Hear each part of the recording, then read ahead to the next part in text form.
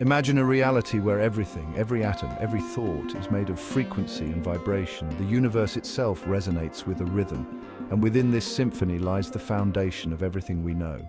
Consciousness isn't just in our minds, it's a universal frequency, connecting every living being, linking past, present and future. But time itself might not be linear. Instead, it could be a loop, allowing for a profound possibility. Future humans, evolved and merged with technology, may be reaching back through time to guide us. They send messages encoded in crop circles, complex patterns, warning us, advising us, each shape, each line, a signature of their advanced knowledge, a reminder of our interconnectedness through time. From the pyramids to Göbekli Tepe, ancient structures align with the stars, harnessing Earth's frequencies. Could they have been built with knowledge from future guides, urging us to remember truths we've lost? And what about our own potential? Through meditation, mindfulness, even psychedelics, humans are unlocking higher states, perceiving deeper layers of reality.